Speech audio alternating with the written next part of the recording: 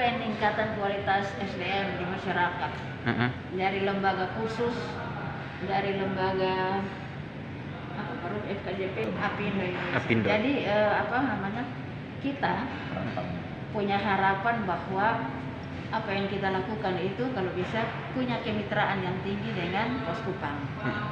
Dalam hal ini expose itu merupakan merupakan satu masukan dan dorongan bagi tenaga kerja bahwa mereka punya punya kegiatan, mereka punya peningkatan kualitas itu bisa diketahui oleh teman-teman yang lain.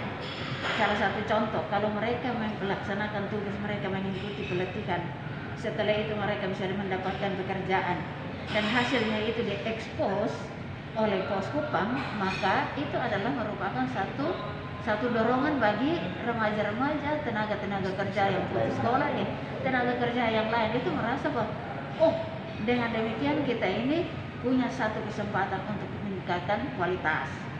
Nah, kalau seandainya pelatihan itu dilaksanakan atau keterampilan itu dilaksanakan yang tidak diketahui oleh banyak orang, maka yang nampak nanti adalah bahwa hanya segelintir orang saja yang bisa memanfaatkan pro- baik program mandiri maupun program pemerintah.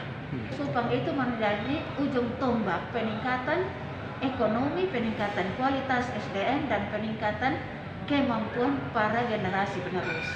Next letter. Ulang satu dua tiga. Pos Kupang, Pos Kupang, next letter. Siap.